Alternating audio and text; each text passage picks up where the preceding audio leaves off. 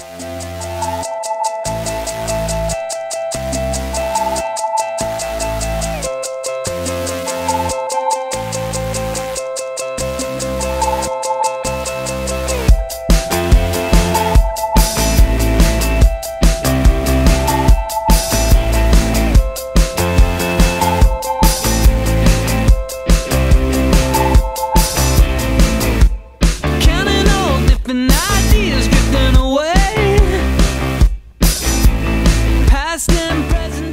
anytime we can help grow the sport, whether we do it while we're coaching young kids or we're coaching coaches, uh, is an opportunity that we can't pass up.